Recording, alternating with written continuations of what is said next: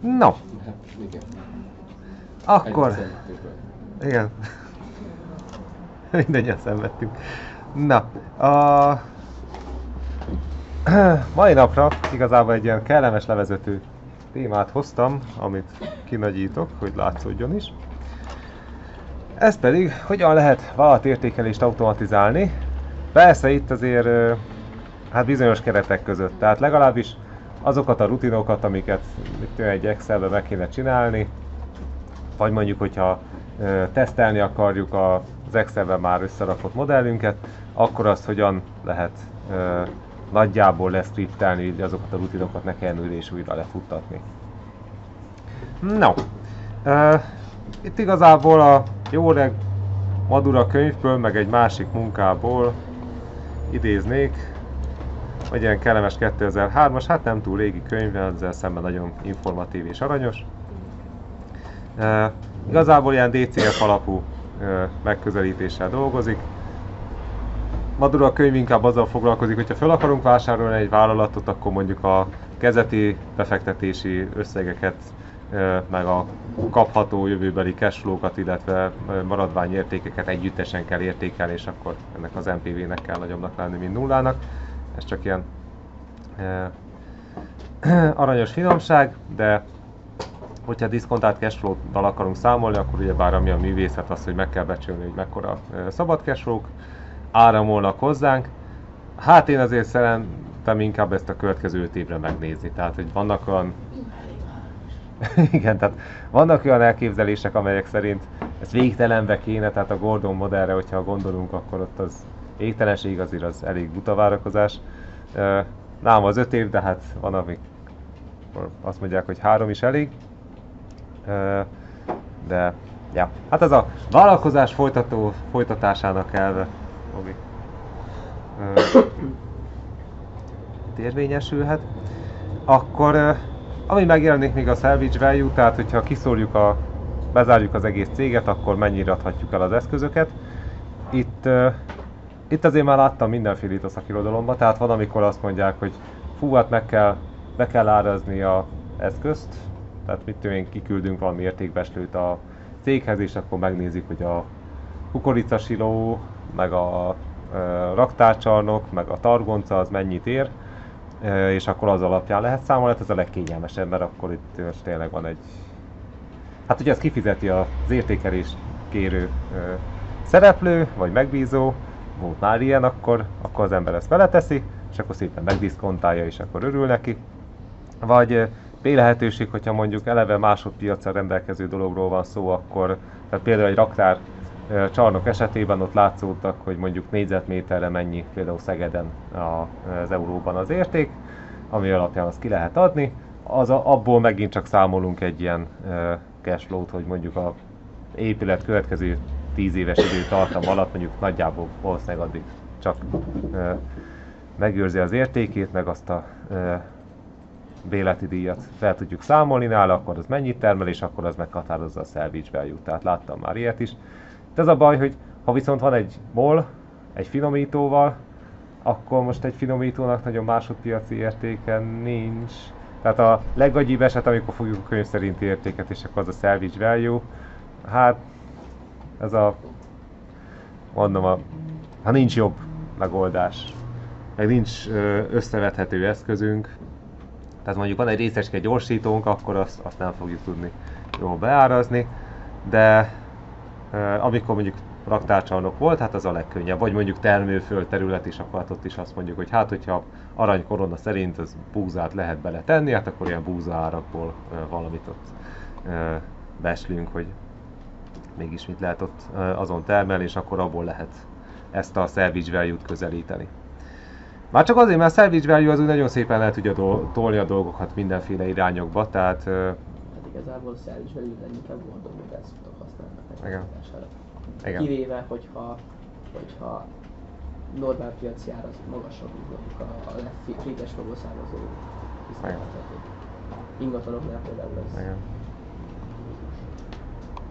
Igen, mondom, hogy az a szép, hogy legalább négy könyvet néztem át, és a négy könyv az háromféle salvage value-t mondott, úgyhogy ez a, ez a három volt, ami Igen. megjelent.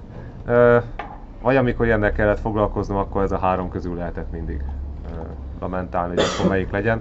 Mondom, a legegyszerűbb az volt, amikor kisétált az ingatlanos, és akkor azt mondta, ez a raktárépület, ez ennyit ér a piacon, hát akkor az ember beírhatta az értékelésbe, hogy Igen.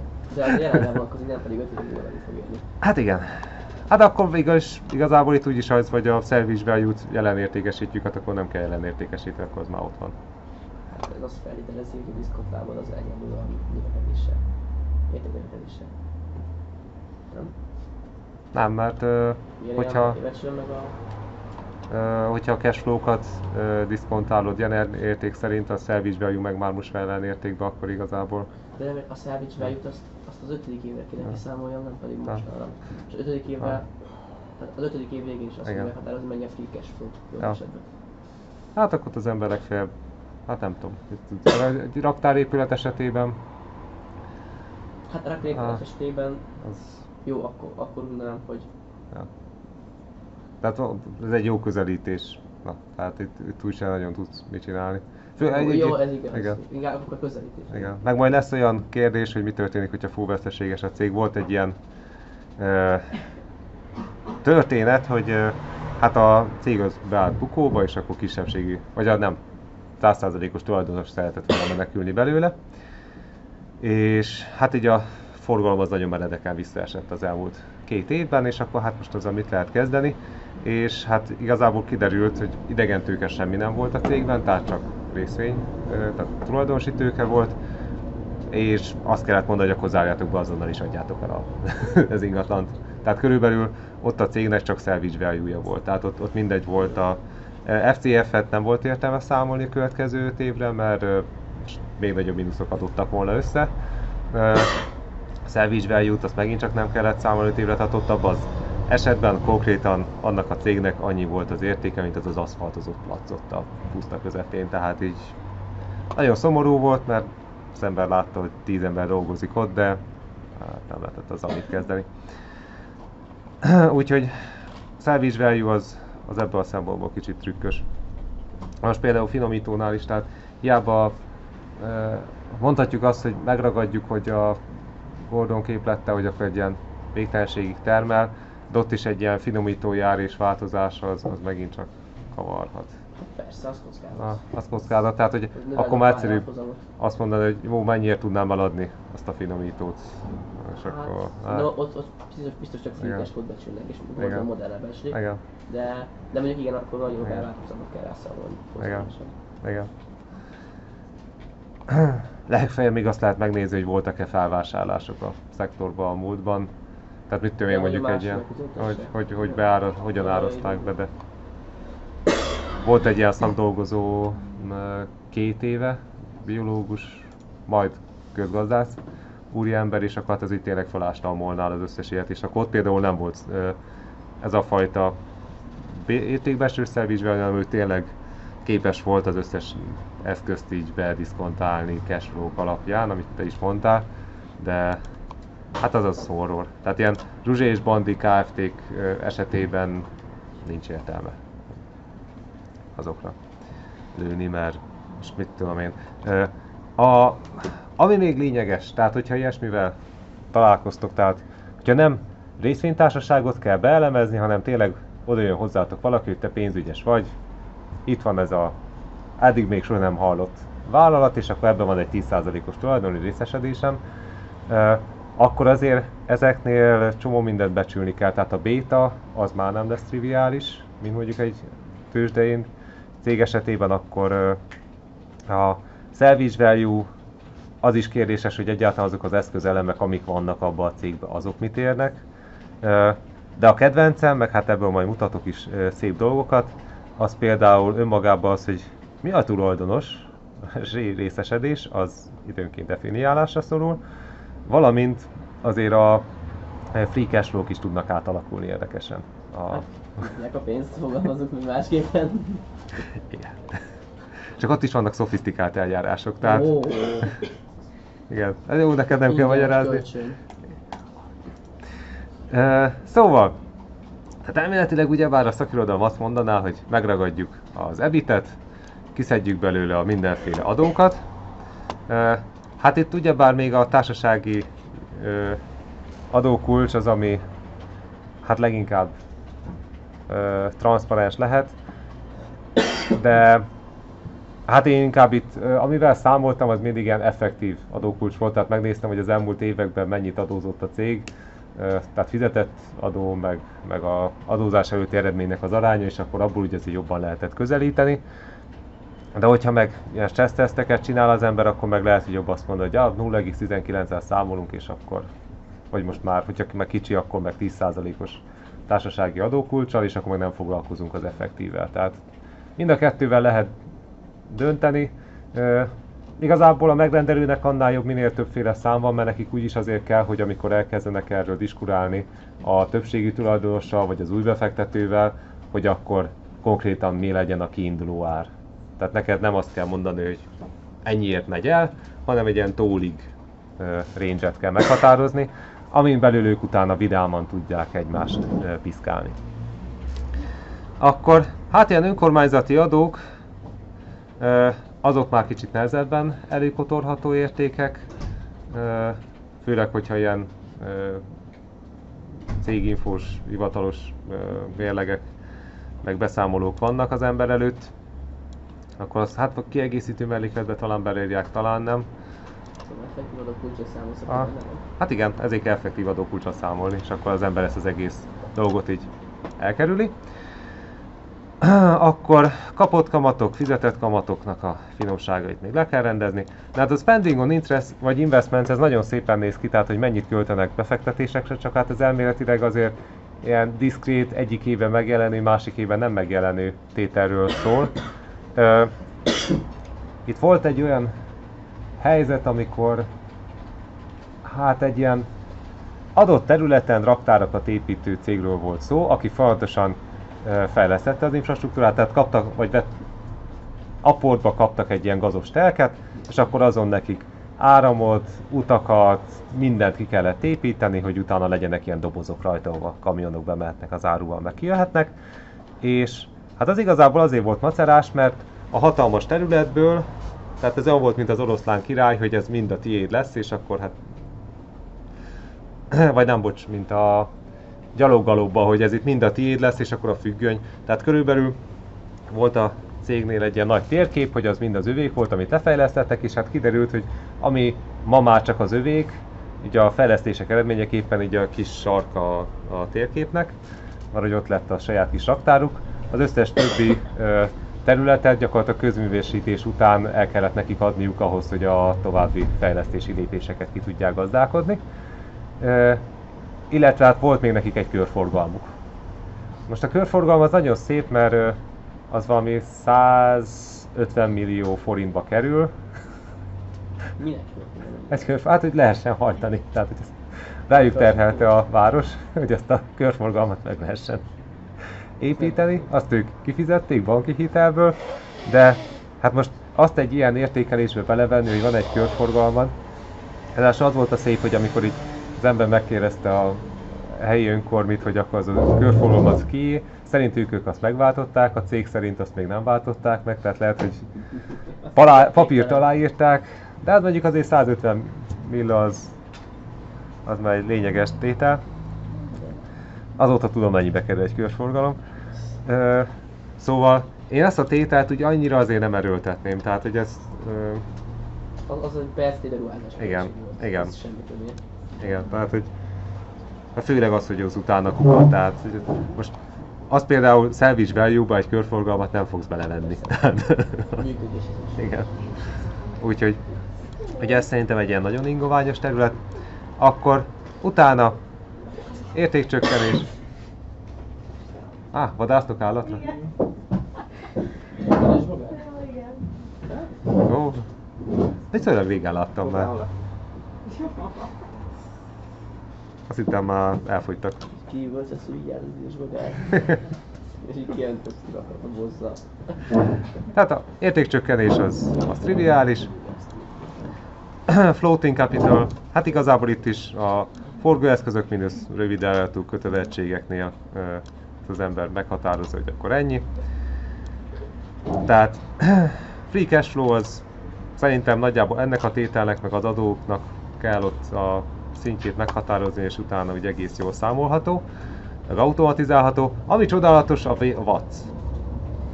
Tehát én itt például, amikor így van egy cégnek mondjuk euróban, forintban, volt, amikor még svájci frankban is hitele, és legalább van 8 féle hitel felvéve, tehát akkor az ember azt mondja, hogy jó, akkor megint csak bemegyünk a mérlegbe, nem fogok ott izé tételenként végigmenni az egészen, és akkor mérlegnél azt a D értéket azt meg lehet határozni, hogy akkor mennyi az adósság, akkor itt megint csak fizetett kamatokból vissza lehet számolni azt a D értéket. Ami viszont nagyon szép, mi történik, hogyha a, az egyik tulajdonos nem kamatozó hitelt nyújt a vállalkozásnak. Meg kell vonni. Hát igen, csak hogy azt most D-nek vagy E-nek határozzuk meg. Mert ez csak azért, mert hihetet hatalmas mennyiségű nem kamatozó kölcsön nyújtott. Hát az nyerességet növeli, akkor gyakorlatilag le kell üzemeltetményből ennek a kamatérték. Nem? Hát ö, nem volt kamatértéke. Hát jó, akkor megvesed, hogy mennyi lenne a kamatérték. Tehát, hogy én igazából azt fogtam és átdobtam az ehhez. Tehát, hogy az, az gyakorlatilag ilyen tulajdonosi tőkeként viselkedik. Én ott, ott úgy voltam vele, hogy az, hát most gyakorlatilag, hogyha nem, tehát csődbe menne a cég, akkor azt ők teljesen buknák azt a hitelt. Effektíve látszódott, hogy az saját tőkeként viselkedett, egyszerűen azért raktak így bele pénzt, mert akkor nem kellett a kisebbségi tulajdonostól pénzt bekunyerálni. A kisebbségi tulajdonos az egy apporttal került be, és akkor utána hogy ott lakott. És, és így annyira nem szerették. Úgyhogy az, az így például átment ilyen ö, saját tőke kategóriába, mert nem tudsz nagyon vele mit csinálni egyébként. Akkor, hát egy bétát ilyenkor becsülgetni, hát először romantikusan nézegettem így a magyar értéktősdénél a B-szektort, de hát amikor 600 féle béták jöttek ki, akkor úgy voltam vele, hogy nem érdekel, bementem Dam- Damodaran adatbázisba, ott ugyebár nagyon szép lebontásban vannak, tehát még amikor vasúti teherszállító cégekre is lehet bétát találni nála, akkor azért az elég megnyugtató, és akkor az ember a profilnak megfelelően választ valamit. Ráadásul még az a jó, hogy ott ugyebár van európai piacra is, meg emerging piacokra is számolt béta, és akkor akkor az ember lefuttatja a scriptet a különböző béták szerint, és akkor megint csak a tolling range-et azt kicsit lehet vele finomítani. Egészségedre. Úgyhogy én ezt a kamatláb, effektív kamatlábat tényleg fizetett kamatok és a hosszú távú ö, kötelezettségek arányával becsülhetőnek tartom. Akkor a salvage value-ról már értekeztünk. És akkor ez alapján itt tényleg fel lehet építeni egy ilyen kis scriptet, ami gyakorlatilag ezeket tartalmazza, hogy mit kell, hogyan beparaméterezni és honnan. Ami még nagyon jó a CAPM modell esetében, az a Delta Books. Itt Hát amikor számolni kellett azért arra vonatkozó, hogy akkor a piaci portfóliónak a hozama mennyi, akkor hát miután a Bux Index az elmúlt időszakban gyakorlatilag az egyik évben hol hatalmasat nő, hol hatalmasat csökkent. Tehát gyakorlatilag erről szólt a 2010-es évek, jó, most ugye elkezdett nőni, de tehát egy stopút pont komoly nyitva, És a Countries Premium-mal közelítjük a nem? Mm, Az egy szép megközelítés. Ja. Az sokkal jobb, mint ami. Ja. Már csak azért, mert így nem... De mi igazából annyit csináltunk, hogy ö, fogtuk és egy exponenciális mozgó átlagot tettünk rá a buxra. Ö, 10 éven keresztül, és akkor annak egy átlag az, az már úgy jó volt. Az úgy reprezentált valamit. Hát jó volt, mint hogyha simán átlagoljuk az egészet, mert És mennyit kell változomnak végül is? Hány százalék? Azt már feltétlenül nem megy. Hát valami egy számjegyű volt, és uh, valami 5 százalék, nem akarok hülyeséget. Seems small, very small. 5 és 10 között valami. 5 és 10 között valami. Az a baj, hogy Excel tábla nélkül nem tudok mit mondani, viszont van egyébként Excel táblánk, ugyanis feltöltöttem a dokumentumok, adatok közé egy rendkívül beszédes nevű input XL-est. Neked mennyi jön ki ilyenkor egy... Őszintén szóval, amikor a tőzsdei nézek, akkor de sokkal lehet, nem fednék dependenciát néha. Sőt, nagyon ritkán. Csak hogyha nagyon megbecsülhető, hogy. Meg itt is az a gond, hogy van egy range aminél az inputok is nem hiszem, hogy, hogy hát annyi minden változhat az egészben. Persze. Pár dolgot átírsz, teljesen másik jön ki, szóval Hát azért kell igazából ezeket az érzékenység, vagy input érzékenység vizsgálatokat lefuttatni. Ilyenkor. Hát,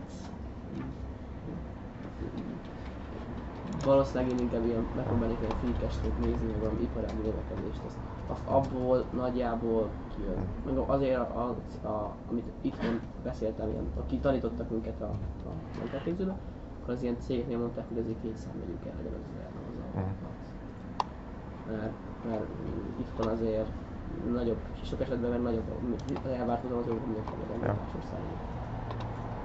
Ezért, ezért kérdeztem, hogy mennyi pontos Ja. szám. Nézzem most, hogy... kereskedelmi, mit is nyújtott a cég? Ilyen szállítmány, viszolgáltatást. És ott is 10 valahány százalék, 12 százalék zárója. Most Az a baj, nincs itt a beta. Ilyen M&A-nél dolgozott Ah. az, az, az Ja.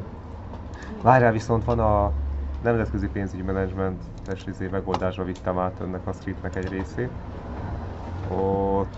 Ajj, és ott. Ja. Itt az, az a szép, hát itt 2014-ig van éppen kihúzva, tehát itt az összes gusztustalan év az benne van.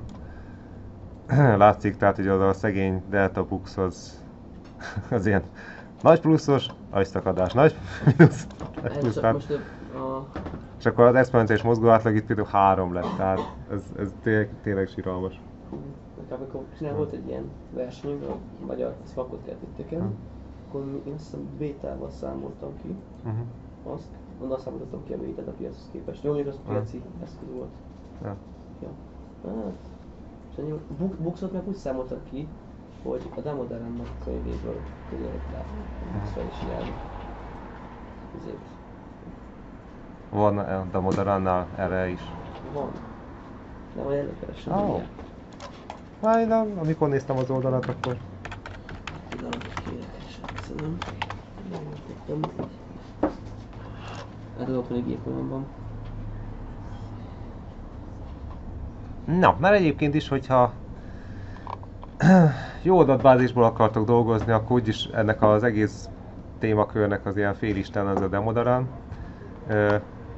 Itt látszik is, hogy hát most konkrétan ez folyamatosan frissíti ezt az adatbázist, tehát azért is jó, tehát nem uh, avul el. Ez most éppen 2019. januári adatbázis, és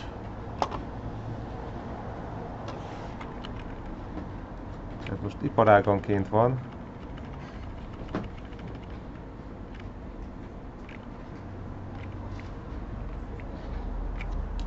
Na itt csak az effektív tax rate van, de hát azt én nem mertem használni, mert hogyha itt ilyen offshoring meg minden egyéb is bele van kavarodva, akkor azt azért úgy nem feltétlenül akarom, de a beta az jó lehet.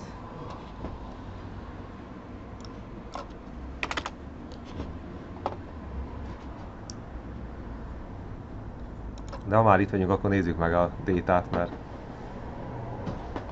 most már érdekes.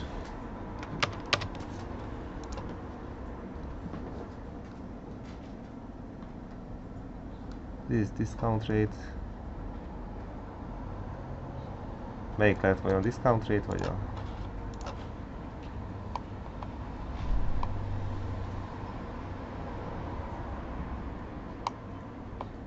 Discount rate estimation. Középen. Total Data by Industry Sector. Nem? Ah, de az a beta. Ja. De én az eret. Ja. Nem azt mondtad? Nem. az eret, hogy vizet, ezt becsültem azt hiszem meg, hogy a, a azt hiszem beta alapján becsültem a, a. Nem, tehát most a, a szok az egyszerű volt, nem volt hitele, csak saját tőkéje volt. Hmm. Ezért csak egy eret kellett úgy Mhm. számolni rá.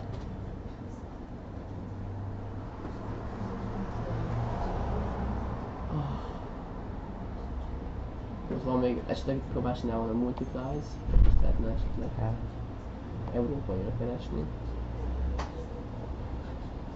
Ez a másik, hogy valakinek tényleg annyi kínos az adat, hogy nincs adat, hogy megbecsítetlen, akkor a multiplier szóval. Ja.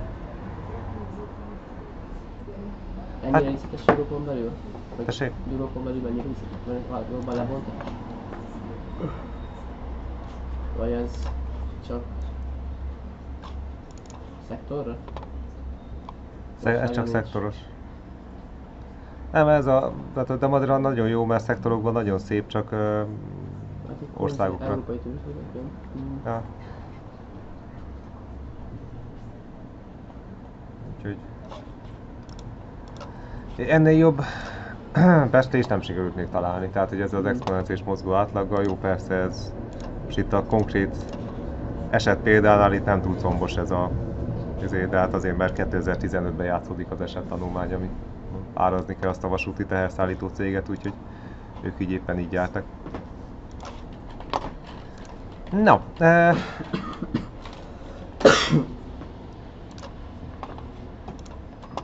tehát ezzel még ott el lehet bütykölni. Van egy ilyen Equity Risk Premium Buzzbar Country. Aztán nem azt használtam, most rá. Hmm, az hol van? Hát mikor keresem? Ja, igen. Equity? Risk Premium by Country. És Van ilyen special issue van. hát a hirdetés lesz. Igen. De a modellámnak van egy Equity, ott van, lejjebb egy Van credit default. Az Ó, is van, nem, Igen. ott van. Tudom, Azt kell neki. És Van neki CDS-e? persze, hogy van. Mióta van neki? Már régóta. Ezt hát négy éve csináltam azt hiszem. Három éve? Oh, God. Na, és innen szedtem a cuccokat. Aha. És ezt adtam hozzá a kutyához. És itt a Hungary 9,2 százalék az equity risk premium. Mm. Country risk premium van mellett. Hát ez fantasztikus. Na, hát ezért jó ez erre órára még tanítani, mert az ember mindig tanul valami hasznosat. Na innen szedtem ki a cuccokat. De ez a friss, már update Aha, igen. igen. Hát az az a jó, hogy ezt frissen is tartja. No. Szóval, vannak alternatívák is akkor számunkra.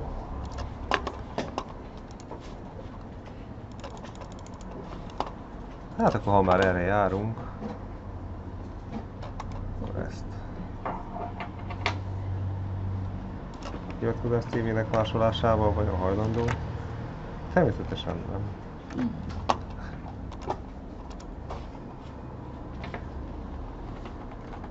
Mégse. Oda beilletted. Az a baj, hogy nem. Viszont az oldalán keresztül meg már vissza tudunk oda menni.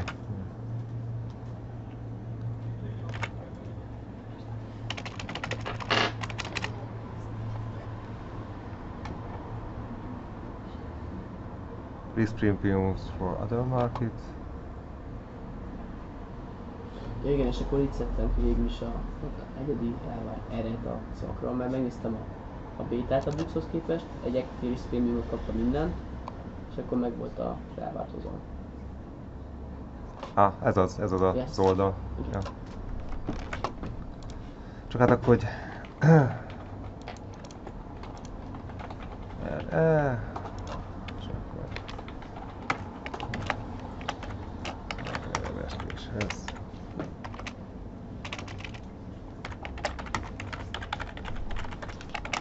Szóval akkor még itt van az a kis adatbázisunk, amivel még lehet dolgozni. Eddig szimpatikus ember volt ez a Demodaran, de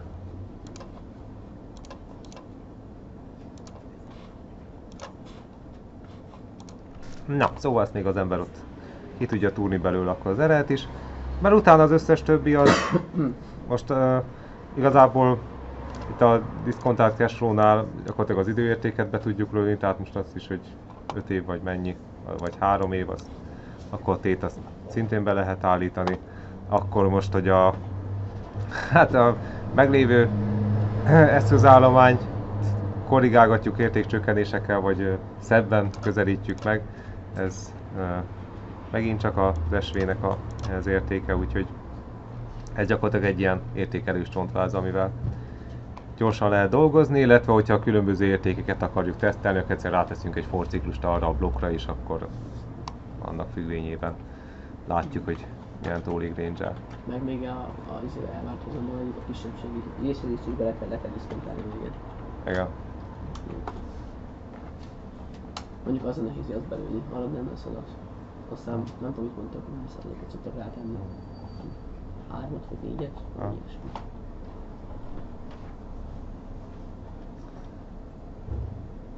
Na,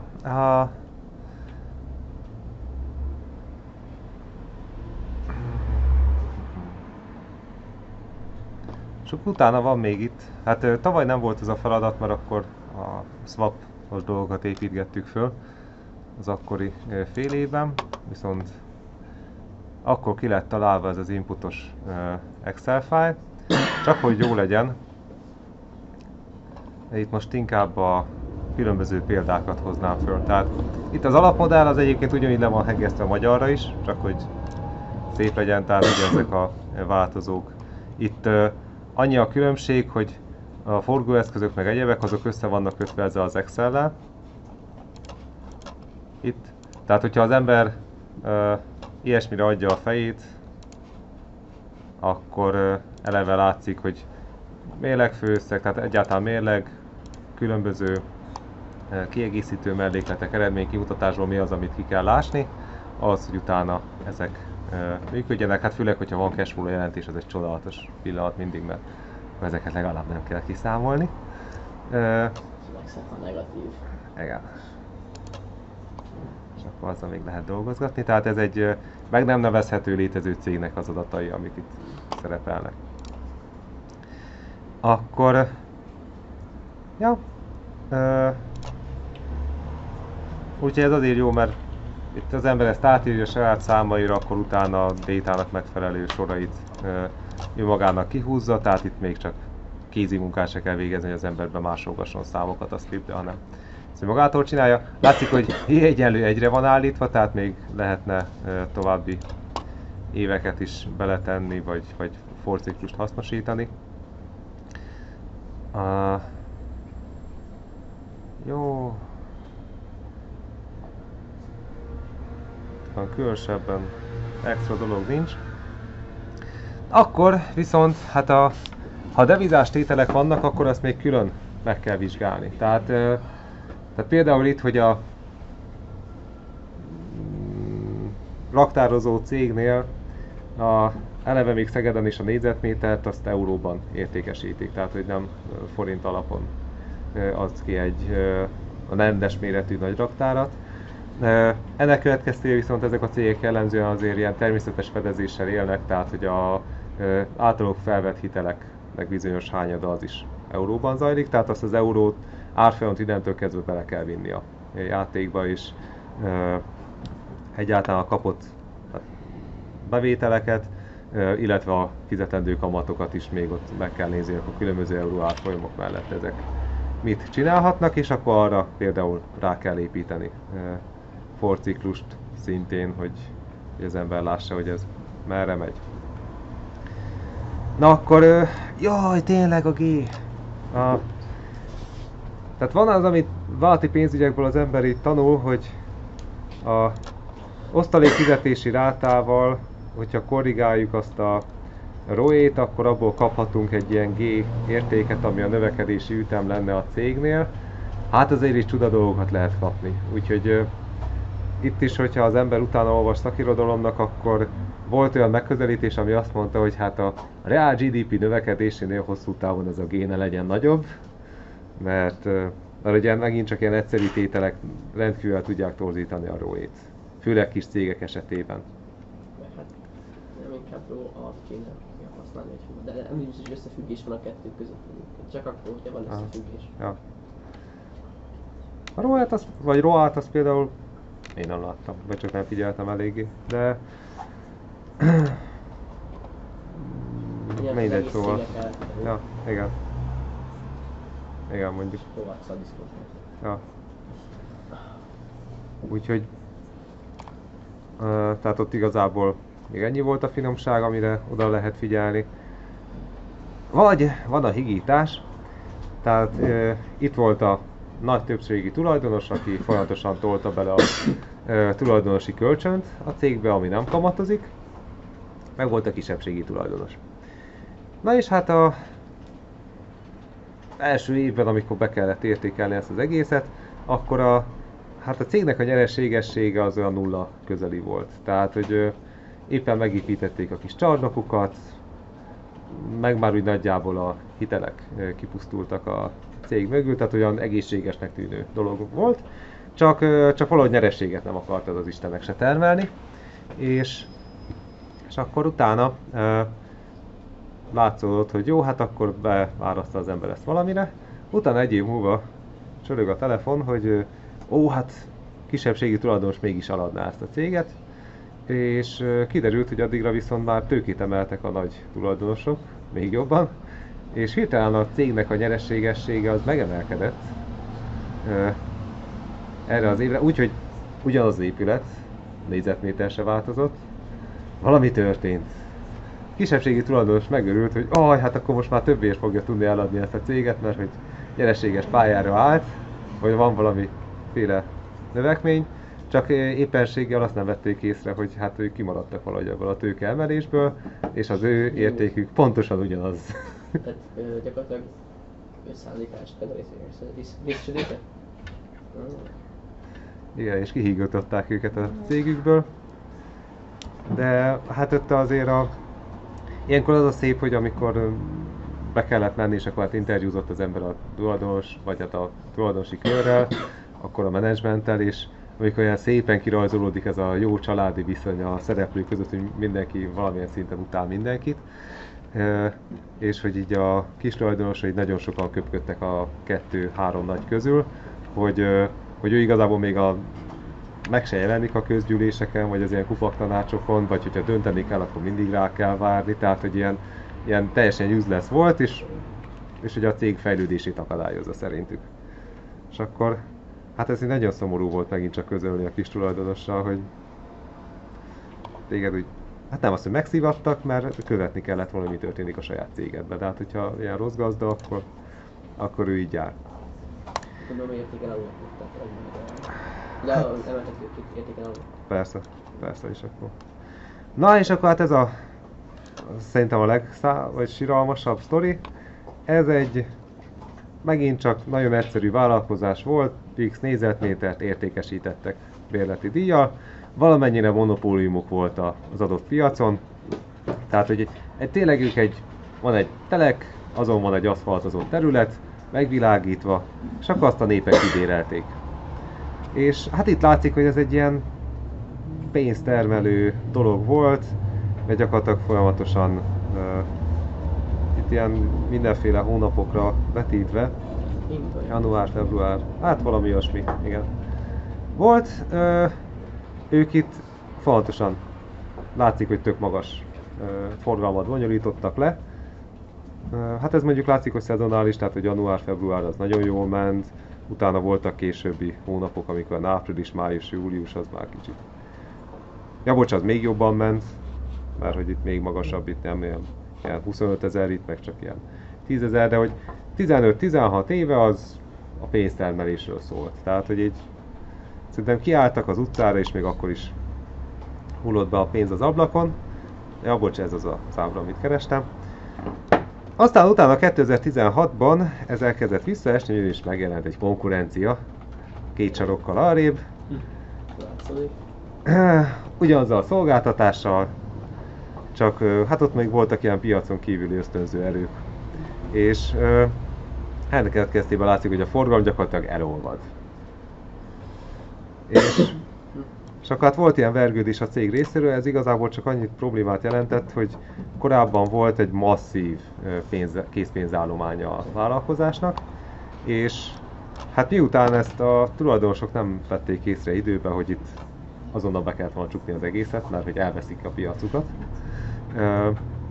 Ők itt még próbáltak kitartani, meg profilt váltani, meg mindenféle egyéb dolgokat csinálni, és ez azt jelentette, hogy hát olyan kellő mennyiségű sok millió forintot sikerült elégetni, úgy mire a végén bezárták az egészet, és akkor maradt valami 30 millió forint a cégbe. Tehát, tehát itt, itt nem lehetett mit mondani, itt az volt, hogy, hogy hát ugye el lehetne adni a céget, hát mondom, kinek kell ez. Tehát, tehát itt, itt igazából volt tényleg az a Vissza kéne hozni Tíz a- ember. a hitelt.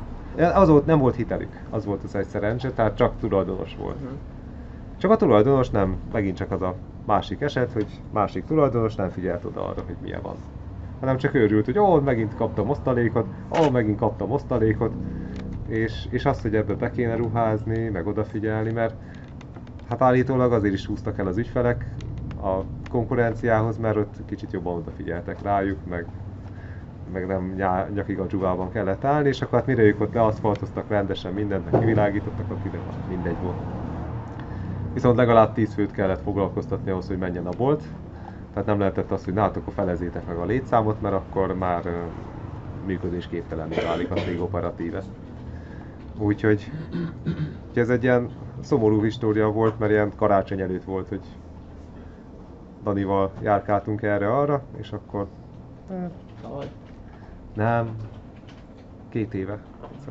Hát ilyen 2017-es üzleti évről van szó, úgyhogy... Ja, de akkor tavaly. Akkor... Nem, kett, kettő éve, kettő éve, nem tavaly volt. Ja. Uh, úgyhogy ez ilyen...